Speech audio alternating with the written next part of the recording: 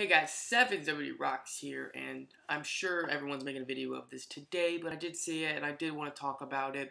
Uh, so I flipped on my phone, looking on Twitter, like I just seen a movie. I saw The Nice Guys. Go see it. It's a pretty good movie. Um, but came out of theater to see what I had missed, and uh, Cody Rhodes on his uh, Twitter account, the Prince uh, CGR, I think is what it is. Not the Stardust account. Stardust account did retweet th these tweets.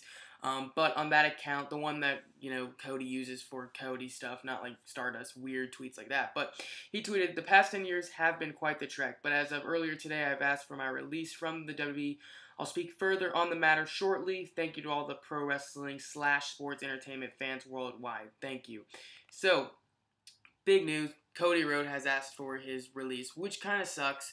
Um, very good talent, very underrated, given a lot of stupid gimmicks and done the best and made him really good actually. So um, that really sucks. I'm not gonna be like you know I'm the biggest Cody Rhodes fan or whatever. I think he's good. I've hated the Stardust gimmick just because they went nowhere with it. That's I think what really pissed me off that he's kind of stayed as this character when I thought he could be doing a lot better stuffs. But I, I mean, I really enjoyed like when I first got into wrestling when I was watching, you know, him and Mysterio and uh, when he was dashing Cody Rhodes and then he had the you know face guard or whatever. Um, that feud, I remember thinking that was so great. I remember hating you know Cody Rhodes because when I first started wrestling fan, I was very for the faces and against the heels. Um, but uh, I remember loving that. You know uh, when this earlier, but when Legacy broke up, it looked like uh, out of you know besides Randy Orton, looked like DiBiase was going to go the farthest, and then it seemed like just Rhodes came out of nowhere and really went farther than DiBiase did, and it was really surprising. But he was really good and talented, so it was really cool to see. And then they did, of course, where it looked like he, for a while, looked like he was going to win the world title when he was feuding with Orton. Then, you know, he got fired or whatever. And then Goldust came in uh, to fight for his job. And then they had their insane, awesome match on Raw against The Shield uh, with Big Show interfering. I remember when they won the tag titles and, uh, you know, Rhodes, the Rhodes family. Uh, it was awesome. I remember loving that part. And I was like, awesome, And, You know, Cody Rhodes and Goldust are doing great. Then they were going to have their big payoff match, and it seemed like it was just.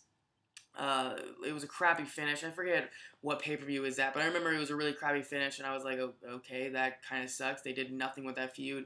He became Stardust or whatever, and then it just seemed like, okay, this could go somewhere. Maybe he's gonna freak out, and just beat the crap out of Goldust, and then it just fizzled out, and then he was just Stardust forever. So I really hated that part. I just I hate the gimmick. I, I, I think he's really good and really talented, especially in interviews and stuff like with Stephen Amell, um, the guy from Arrow. When they do stuff together, I thought he was great in character, and it's really cool because he kind of came up with a whole new move set to fit the Stardust character, and I think he did a great job with that.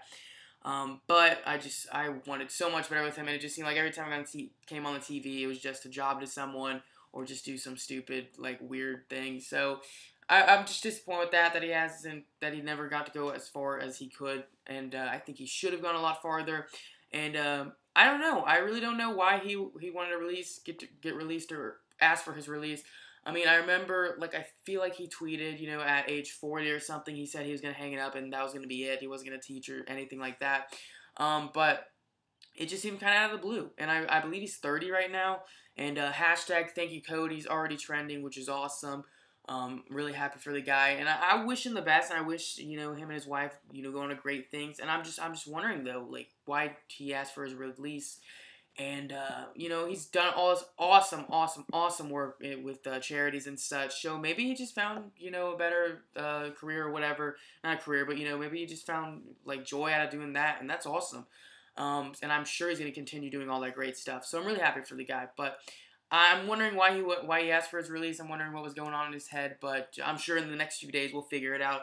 Um, and he, like he said, he'll explain later. So um, let me know what you think of Cody Rhodes get, uh, asking for his release. Um, in yeah, like, comment, subscribe, all the good stuff. Follow me on Twitter at 7W Rocks. Um, I think this is for it, it, for him wrestling wise. I don't think he's gonna, you know, TNA or anything's gonna like pick him up, or I'm sure TNA's trying to pick him up, but I, think it's, you know, he's done or whatever. But I wish him the best, and I think he's gonna do a lot of great things uh, outside of the wrestling world. So thanks so much for watching, and let me know your thoughts down below in the comment section. So as always, have a nice day.